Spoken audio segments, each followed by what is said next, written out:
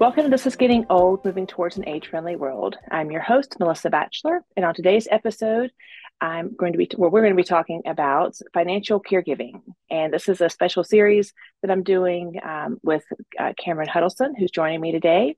And today we're going to be talking about how to talk to your parents and your siblings, kind of the why, when, and how. So, welcome, Cameron. How are you today? I'm great. Thanks so much for having me on the show.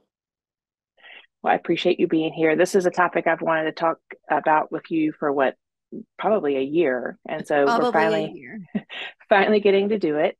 Um, so maybe before we get started, um, tell everyone a little bit about yourself. Sure. So I am a personal finance journalist. I have been writing about money for more than 20 years. I wrote a book called Mom and Dad We Need to Talk How to Have Essential Conversations with Your Parents about their finances. And I was a caregiver for more than 12 years for my mom who had Alzheimer's disease. I was a hands on caregiver for about four years. And then when she was in a memory care facility, I was her financial caregiver and I also oversaw all of her care. So that's okay. that's me in a nutshell. Right. And I think that one of the, when you and I connected, one of the things I found so interesting is that when we think about being a caregiver, I think a lot of people think about kind of the, um, the physical caregiving that happens, you know, um, but caregiving really encompasses a lot of things, including finances. And a, a lot of the information in your book, I'll have to tell you, like, I think I read it like in a day. And I was like, this is just such great information. Um, so let's talk a little bit about when you know you knew that you were because because your book is about your personal experience and kind of some of the pitfalls and lessons learned. Um, so when did you realize like what were some of the signs that your mom needed more help with her finances? So I'll just start by saying that I did not have detailed conversations with my mom about her finances before she started experiencing memory loss. And that was a really big mistake on my part. I had an opportunity, I had plenty of opportunities to have the conversation. I just didn't realize it was a conversation I needed to have until I saw that she was going to need help with her finances. And so when it was initially, it was pretty easy to ignore the signs that she was experiencing memory loss because she had hearing loss. And I could, you know, when she would ask a question and I would answer her and she would ask it again, I would tell myself, oh, it's because she didn't hear my response. And that went on for, I don't know, several months, maybe even a year. But it was when I was visiting with her and we lived in the same town. So I was at her house one evening and uh, she asked me if I wanted to go see a bench that she had bought for her back patio. And so we went and we looked at the bench. We came back inside, and a few minutes later, she asked me again, Do you want to see the new bench I just bought? And my heart just sank because I knew this was not a hearing issue. She had forgotten that we had just gone outside and looked at this bench. And I thought, oh my gosh, something is clearly wrong. I've got to get her in to see a doctor. We've got to figure out what's going on um, as a financial journalist, I also knew that because she was forgetting things, that we needed to take steps to make sure I had the legal right to be involved with her finances and her healthcare decisions. And so I encouraged her to meet with an attorney right away to update all of her legal documents, her will, her power of attorney document that named both me and her sister as her agents to make financial decisions for her, when she was no longer able to herself, and also to name me and my sister her healthcare power of attorney to make medical decisions for her. She also updated her living will that spelled out was sort of end of life medical care she did or did not want. And so that was really the first step that I took to get involved with her finances. And the attorney encouraged us to go ahead and go to the bank and let her bank know that I had been named her power of attorney, take that document with us. And so we did do that. And that was a really good idea because banks and other financial institutions, even though they're not supposed to, they can make it difficult for caregivers to get involved with their loved one's finances, even if they have that legal document, that power of attorney document. especially if that power of attorney document was drafted and signed years ago. They might refer to it as a stale power of attorney. They're supposed to accept it, but sometimes they'll say, well, this is too old. You need a newer document, or we have our own documents that need to be signed. And so if you can go with the parent and the bank can see that this is the person the parent or the older adult trust, gives that financial institution that sense of security because they don't want to be giving someone the right to access a client's you know accounts if they're going to go in and take advantage of that person. And so i went with my mom to the bank together you know i can't even remember now it's been so long ago whether the bank required us to sign additional documents but that's how i started to to get involved and then i slowly eased my way in as she needed more and more help. I didn't just take over right away because she didn't need help with everything and i didn't want to get pushback from her and and that you know would have left her in a worse situation if she wasn't willing to accept my help at all and so like i said i kind of eased my way in um, but you know there were lots of signs that she needed help. I mean she was writing checks left and right to every organization that asked for money and i didn't want her to give away all of her money so i would go through her mail and sort those donation requests from the bills and then i was able to get online access to her bank account to kind of watch from behind the scenes and see where her money was going and to make sure that she was handling her money responsibly uh, you know with time i took over more and more of the financial yeah. tasks that she wasn't able to handle. Yeah, so I think it's really interesting. I mean, we talked to people about getting a healthcare power of attorney and a financial power of attorney. And it never really occurred to me that as soon as you get those documents to go to the bank, and you know, there is a lot of elder you know, abuse and fraud, you know, that does happen.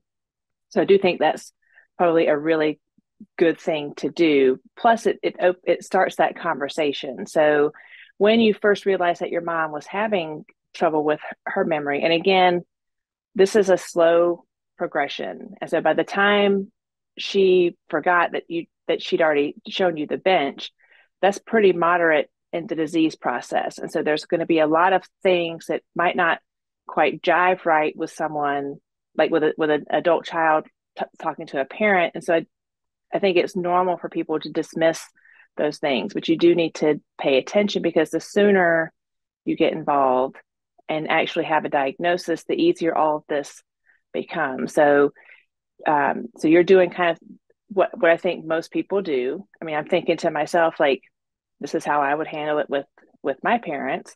So, talk to me a little bit about some of the lessons learned by doing more of the slow entry into trying to untangle her finances as an outsider. So, the biggest lesson that I learned is that I should have had conversations with her while she was still healthy because I had to play detective. I had to figure out what sort of accounts she had, and it was difficult. I, in fact, there was one account that she had, it was an investment account that I didn't even know existed until she was already in a memory care facility. She had been living with me for a couple years. So her mail was coming to me. And then once I moved her into memory care, got a notice from this company saying that her account was going to be turned over to the state as unclaimed property for lack of activity. There was $50,000 in this account that I never knew even existed. And so if I had sat down with her while she was healthy to get a list of all of her accounts, then you know we wouldn't i wouldn't have almost lost $50000 of her money you know luckily got the notice and was able to as her power of attorney get access to that account and use that money to pay for almost a year's worth of care in a memory care facility but if i had had conversations with her sooner i wouldn't have been playing detective there wouldn't have been things that were overlooked. And so I really want people to realize that these conversations should be happening before there's an emergency. I was lucky that she was actually able to sign those legal documents because she, like I said, was starting to forget things. And so we met with the attorney, and the attorney determined that she was still competent enough to sign them. But if you are no longer mentally competent, you can't sign those documents. And then someone is going to have to go to court to be to essentially petition the court to be named a conservator to manage financial matters, to be named a guardian, to handle healthcare matters. And um, that's essentially putting your parent on trial to do that. And it can be very time consuming, very expensive, can create all sorts of emotional trauma for you and your parent going through that process. And so I got lucky that she was still competent enough to sign those documents, even though she was starting to experience memory loss. Um, but you know, like I said, I was because go so, ahead. Well, so it's, it's really the difference between either as uh, an older adult with an adult child that you trust, it's either putting yourself in the driver's seat or turning it over to a court system to decide for you. And so to me, I mean, that's probably one of the biggest gifts that happened this with you and I having this conversation can do for people is to say, as soon as you think there's a problem or as soon as there is a diagnosis, like the financial part of their life needs to be addressed. And so many people are afraid to even talk about money. So, um, so like, so how did you even start that conversation with your mom? That meeting with the attorney really helped because there was that unbiased third party who was telling us that we needed to go to the bank together to let the bank know that I was now my mom's okay. power of attorney. I think it's really important to get that third party involved if you have a parent who is reluctant to let you get involved. Maybe it's the doctor. So maybe you notice that your parent is experiencing memory loss and you go with your parent to a doctor's visit, that your parent is examined, there are tests that are done, there comes back a diagnosis of, you know, some form of dementia, maybe it's Alzheimer's disease, maybe it's something else. You know, the doctor didn't say anything to us about financial matters that my mom was going to now need help with her finances. I just knew that as a financial journalist. But if you're there in the doctor's office with a parent, that's a question that you want to ask. Okay, mom has been diagnosed with Alzheimer's disease. Does that mean that she is going to need help with money matters now?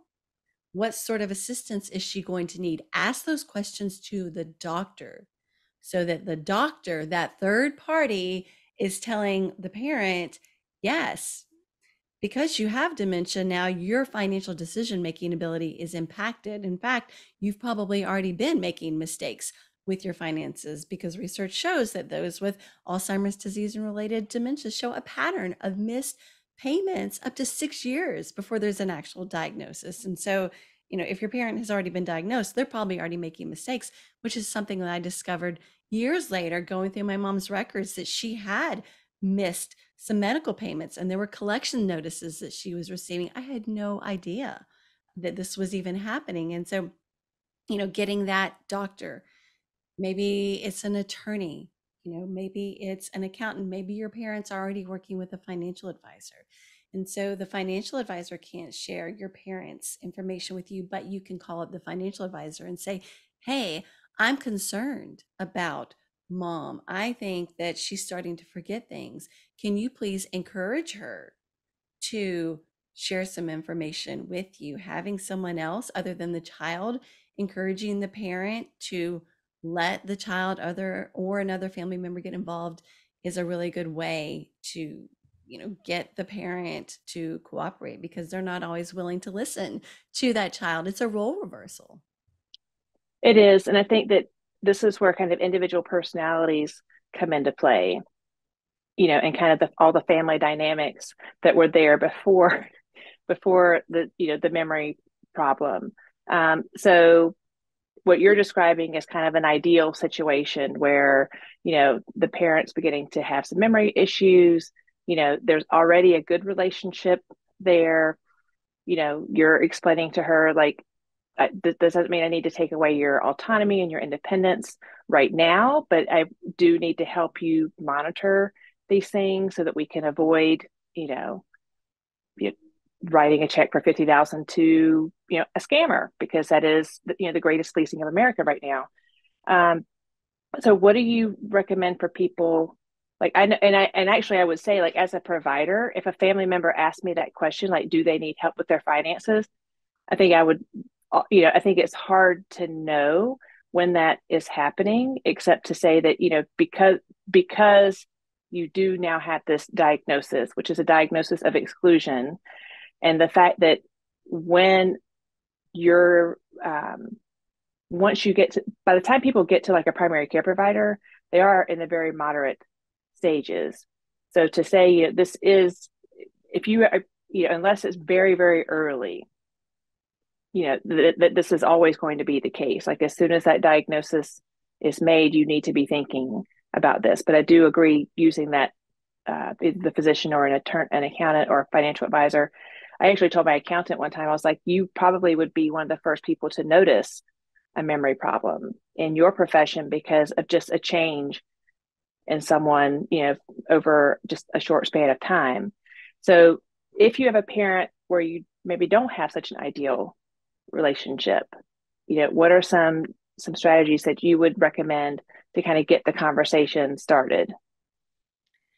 So, as I mentioned, ideally you have this conversation before there are any health issues before there's an emergency and so there are a variety of ways that you can bring it up you can simply ask about what if scenarios. What if something were to happen? What if you were in the hospital and i needed to make sure your bills were getting paid? How would i do that? Are your bills being paid automatically or are you writing checks every month? That's really a simple way to start the conversation. I had a friend who did that with her mother. Her mother was living on her own and her mother said you know what? I never even thought about that thanks so much for asking. And she went and made a list of all of her bills and how she paid them shared that with her daughter and that led to more conversations. You could talk about your own financial planning experience. You know hey mom and dad i just um, had a will drafted power of attorney healthcare proxy all these documents are they are now in my house in this particular drawer in my home safe. Let your parents know where they are say you know i want you to know in case something happens to me by the way do you have these documents? Where are they? And if they say yes i have them then you like i said you need to say where are they? because it's not going to do you any good yeah and how do i get to them? How because if they're in a they're at the bank in the safety deposit box that doesn't really help people no especially if you can't find the key no you need to be able to access them or maybe you tell your parents look i just you know i just got a new life insurance policy or you know maybe it's even hey i found this really awesome retirement savings calculator online and I realized I wasn't saving enough for retirement. And so the conversation starts by asking them about their retirement. You know, how did you plan for your retirement? Are you, you know, did you have retirement savings account? Are you getting a pension? Is it just social security? Or if they haven't retired yet, you know, what are your plans for retirement? You can ease your way into the conversation. You can share a story about someone you know who had to get involved with their parents' care maybe someone who lost a parent, they didn't have a will, and it created all sorts of headaches for the family members who were left behind and they were grieving. And on top of that grief, they're dealing with the fallout from a lack of financial planning by the parent. And so there are lots of different ways to start this conversation naturally. And when you do this before there's an emergency, then emotions aren't running as high. People can have these conversations and they can be calmer when you wait for an emergency to have the conversation. Yes, emotions are going to be running high. The last thing people want to talk about financial matters and so it's going to be harder to have a calm conversation at that point. Now, people human nature though you know being as it is we're not going to probably have these conversations because we think they're awkward and then we see like i did that my mom was forgetting things and then suddenly i had to have the conversations what you don't want to do is put your parent on the defensive hey mom and you're forgetting things so that means i need to be managing your finances for you well i mean she's still remembering a lot of things too and so if you're telling her that she isn't capable of handling her finances, you're likely to put her on the defensive and she's going to shut down. She's going to push you away. You have offended her. And so instead, what you're going to want to do is look for those tasks that your parent needs the most help with. And most likely, it's going to be either avoiding scams, because if they're experiencing memory loss, their financial decision making ability is impacted. They're at much greater risk of being scams, or, or, and also, also paying those bills because like I said earlier, if there is memory loss, they're probably having trouble staying on top of their finances and making bill payments on time, or maybe they're paying the bills twice. And so maybe it's as simple as saying to them, Hey, you know, I have found that a great time saver for me is having my bills set up to be paid automatically. Would you like me to help you do that? And so then you're going to sit down with them at a computer and you're going to log into those accounts. So you're going to see where they're banking. You're going to see what sort of bills they have, and you're going to help them set up these automatic payments or, you know, warning them about scams. Hey, I just got a phone call from someone claiming to be with the IRS, and they told me that I had to pay back taxes. I had to get a gift card to make this payment. I just want you to know that this is a common scam. So you're going to share scam red flags with them. You know, you get a call from someone claiming to be with a government agency. You get a call from someone asking you to pay with a gift card or a wire transfer.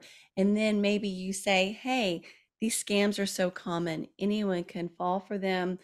You know, you make a list of these red flags, you share articles with them, and then you encourage them, let's let's set up some account monitoring on your account. Yeah.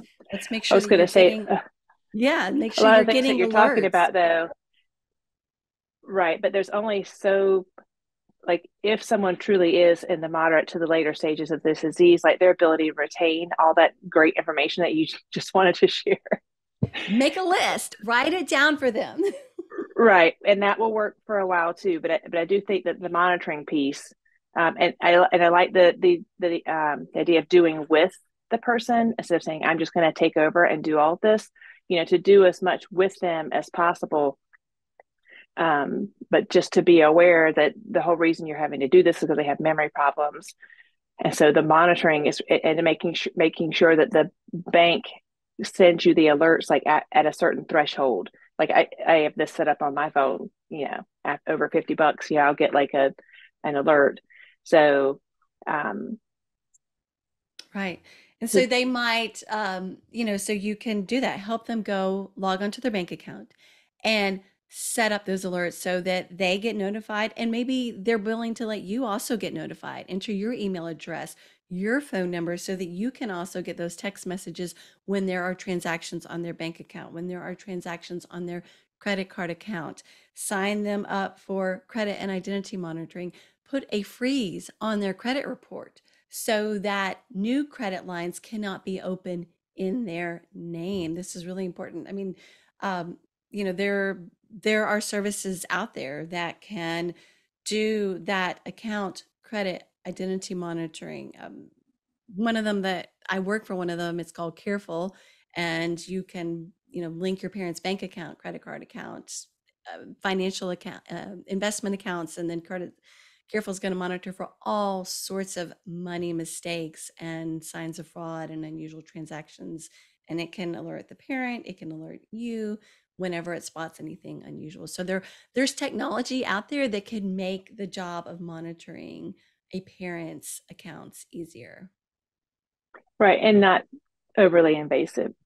Right. So right. what about what about the parent who, you know, um, hasn't saved enough for retirement or has debt and they're you know, really ashamed of how they've managed their money over their lifetime?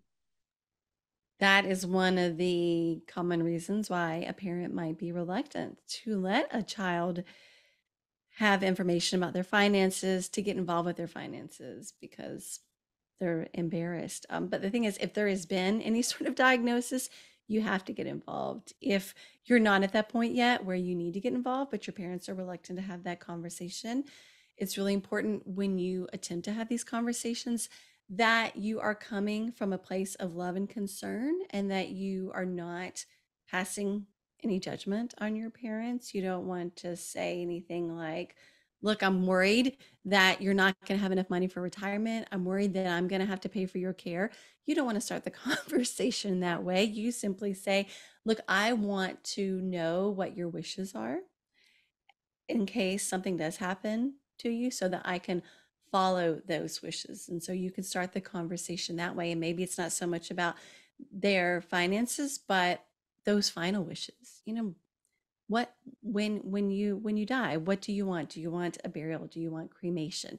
maybe you start the conversation that way so that you're not talking about their lack of planning for retirement. Um, but you're you're gonna have to get to that at some point, and so you you ease your way in. And like I said, you're not you don't want to pass any sort of judgment on your parents. You want to let them know, look, it's okay. Most people have not done a good job of saving for retirement. I am trying my best to save for retirement, but I know how hard it can be. And so let's start having a conversation now so that we can have a plan. We can figure out what resources you have and what maybe you can do now so that if there are, if you do need long term care, there's a way to pay for it. If there's not going to be enough money for you to live comfortably in retirement, we can make a plan now. There can be some changes that can be incorporated so that your money will last longer. Okay. So thank you for all of those great tips. Um, I, today we've been talking about you know, talking to your parents, um, we didn't really get so much of the sibling part, but we're going to get to that in the next one. Um, kind of the why, when, and how to have these conversations. And just wanted to recommend your book again called Mom and Dad We Need to Talk by Cameron Huddleston. And so join us uh, next week where we're going to be talking about from the perspective of a parent who maybe doesn't have a memory problem yet, um, or not a memory problem at all, but how do they talk to their adult children and what do those children need to know? So uh, join us next week and I'll be right back with Cameron. Thank you for tuning in to This is Getting Old, Moving Towards an Age Friendly World. I'm your host, Melissa Batchelor, and if you'd like to learn more, you can check out my other episodes on my YouTube channel by either by subscribing and ringing the bell to get immediate notifications when new content comes out. In addition, you can also find the audio version of the podcast on Amazon Music, Spotify, iTunes, and Stitcher. Please feel free to leave an honest review because more reviews mean more awareness of the podcast and helps us move towards an age friendly world. If you have a comment or a question, you can visit my website, melissabphd.com. Go to the Contact Melissa tab and you can leave me a voice message. You never know, it might just include your question or your comment in an upcoming episode.